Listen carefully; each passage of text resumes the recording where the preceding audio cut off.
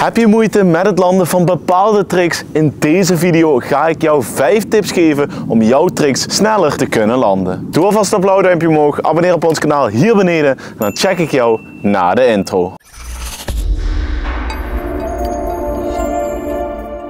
Ik kreeg vaak de vraag van Kevin, kan je mij tips geven? Hoe moet deze trick? Ik ben al zo lang aan het oefenen, het lukt me maar niet. En toen dacht ik van, het is misschien slim om een YouTube video te maken hoe je nu precies sneller tricks kan landen en wat er bij mij heeft voor gezorgd dat ik zo snel bepaalde tricks kon landen. Ik ga je dus vijf soorten tips geven en de eerste tip die we gaan bespreken is rij vaker met mensen die beter dan jou zijn. Het is echt super belangrijk als jij snel progressie wilt maken om met mensen te rijden die een stukje beter als jou zijn. Waarom? Er zijn dan mensen bij die al weten hoe een bepaalde trick werkt en jou dus ook tips kunnen geven tijdens dat je de trick aan het proberen bent. Daarnaast zal het ook super erg motiveren als jij de persoon bent die nog niet alles kan en die altijd rondom mensen is die veel beter zijn. Want dan wil je ook beter worden. En stel je voor je bent altijd de beste in jouw groep, dan is het slim om met mensen mensen om te gaan die weer nog beter zijn. Want anders ga je bijna niet progressen en ga je misschien blijven hangen op het niveau waar je bent. En denk je van oké, ja, ik ben toch al goed genoeg. En dan blijft je progressie hangen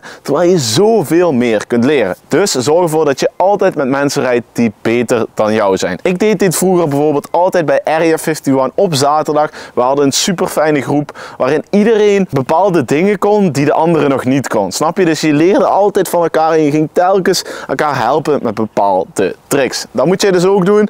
En daarnaast kun je ook bijvoorbeeld naar de SD-kampen komen of de SD-uitstappen of ga wedstrijden meedoen. Want zo leer je het meeste van alle mensen rondom jou. Tip nummer 2 is de juiste maat en de hoogte van jouw stuntstep. Jongens, ik zie echt super veel mensen die met een te hoge, een te zware en een te lange step rijden. Hierdoor ga je gewoon jammer genoeg niet al je potentie kunnen bereiken, omdat jouw step simpelweg niet voor jou gemaakt is. Er zijn echt jongens die staan op hun step zo, rijden ze een ramp op en dan krijgen ze gewoon een heel schok naar achter, omdat ze gewoon zo hoog stuur hebben en gewoon niet de step onder controle hebben.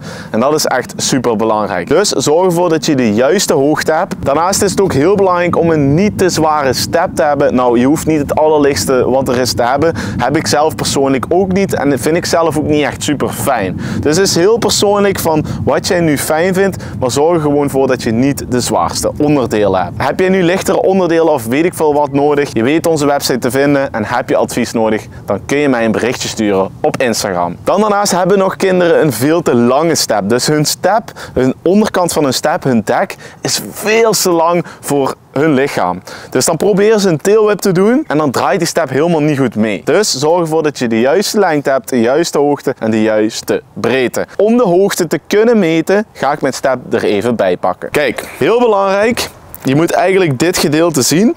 Heel belangrijk is dat je naast je step gaat staan dus twee voeten ernaast. En dan je handen naar beneden laat vallen. Dan moet je ervoor zorgen dat ongeveer de bar hier rondom jouw polsen komt. Als jouw bar hier in jouw handpalm komt, ja, dan is jouw stuur gewoon te laag. Want als je dan op je step gaat staan, ga je met een gebogen rug staan. Dat is niet goed. Staat jouw step echt, komt hij bijvoorbeeld tot hier ergens, ja, dan ga je zo staan. En als je dan een ramp oprijdt, dan is het gewoon veel moeilijker. Kijk, tenzij je een streeter bent, dan is het weer helemaal anders. Maar zorg gewoon voor dat je handen altijd zo op je step komen. Dan zit je stuur eigenlijk gewoon perfect. De lengte van het dek is voor iedereen een beetje verschillend. Voor parkers is het belangrijk dat je rond de 49, 50, 51 centimeter gaat zitten. Streeters die gaan een langer dek fijner vinden, omdat het gewoon veel beter kraait, etc. Maar voor de parkers onder ons, niet te breed en niet lang. Tip nummer 3 is je eigen tips filmen en daarna bekijken. Jongens, als er iets is waar ik super veel van geleerd heb, is het door mijn eigen tricks te filmen. Nou kan het zo zijn dat je misschien vaak alleen naar het skatepark gaat. Koop dan een tripod. Een tripod is een kleine statief die je kunt gebruiken en waar je je telefoon in kunt zetten en dus jezelf kunt gaan filmen. Eh, vind je dit niet fijn en heb je altijd een vriend bij? Film elkaar, leer van elkaar. Zorg dat je die clips goed bekijkt en kijkt waar het misgaat. Probeer dingen te zoeken, probeer dingen uit te zoeken. Ik heb dit vroeger ook met mijn tail gedaan. Wat moeten we doen? Waar moeten we op letten? Hup, rechtop blijven staan, onder je houden. Al die dingen gaan jou helpen om je tricks veel sneller te kunnen landen. Daarnaast, nu schiet het mij eventjes te binnen. Ik wil een video maken waarin ik jullie tips ga geven op je tricks die je close hebt. Dus ik daag jullie uit om je tricks te filmen en die mag je hier onderaan deze video droppen. Ik zal weer een formulier maken waarin jij jouw video kan droppen. Je mag het mailen naar mij, je mag het whatsappen naar mij, je mag het allemaal doen, zolang ik maar de video ontvang. Zodra je dit gaat doorsturen, kan ik kijken en kan ik zeggen wat er eventueel beter kan. Dus zorg ervoor dat je je clips altijd goed filmt en goed bekijkt. Tip nummer 4 van de 5 is zorg ervoor dat je gewoon super vaak gaat steppen. Kijk jongens, ik kan wel zeggen van doe dit, doe dat, maar zodra jij niet genoeg stept en niet genoeg oefent, ga je het simpelweg niet landen.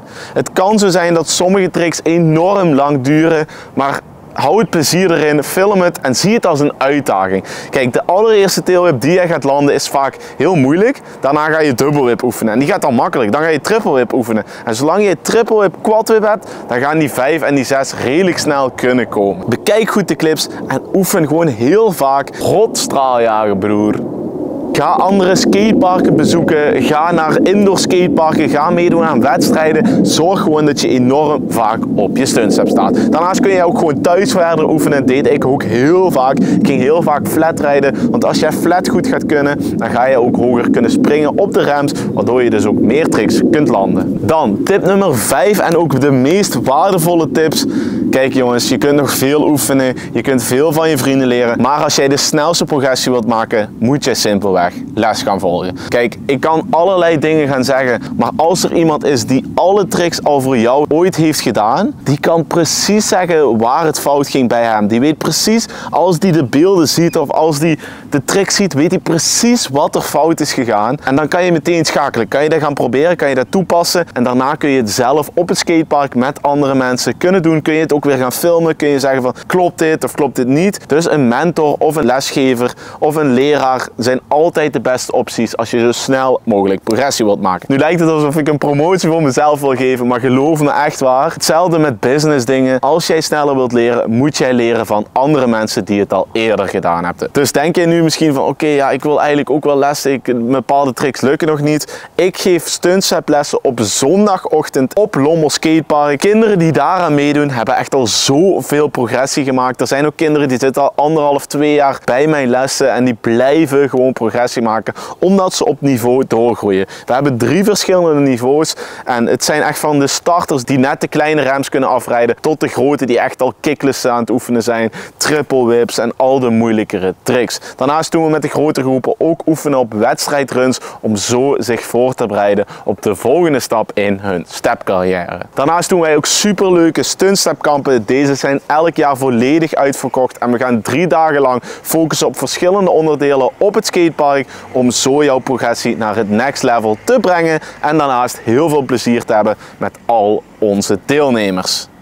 Je kunt daar ook weer prijzen winnen, je kunt van alles winnen, je krijgt een drankje, je krijgt een koekje. Het is gewoon echt een super leuke tijd en dit zal op verschillende locaties in België zijn. Nu denk je misschien van ja maar hoezo kan jij mij iets leren? Nou ik ben in 2018 de derde van de Benelux geworden en eerste van België. Daarnaast heb ik al drie, vier jaar bedrijf waarin ik stuntstep onderdelen verkoop. En daarnaast zijn we twee jaar geleden gestart met het geven van stuntstep lessen, stuntstep kampen, uitstappen, stuntstep doe ik ook allemaal. Omdat ik gewoon al zo lang in die sport zit en ik wil graag de mensen helpen van onder naar boven om zo de top te kunnen bereiken. We hebben ook een aantal teamrijders. Wil je nu meer zien? Check dan even onze Instagram. Ga naar onze YouTube kanaal om meer video's te kijken. Maar wij zitten gewoon in de sport omdat we het super leuk vinden en zoveel mogelijk mensen willen leren. We doen dit gewoon super graag en dat is ook de reden dat wij deze lessen aanbieden en de webshop hebben. Dus conclusie, wil jij sneller jouw tricks landen en meer progressie maken, moet jij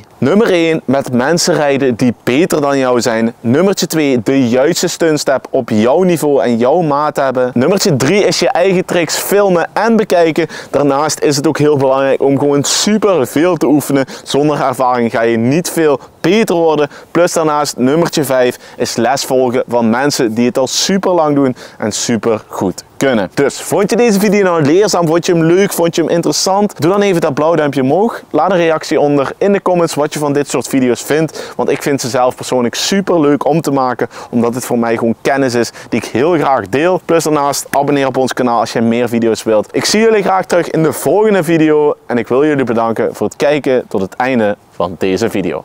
Later!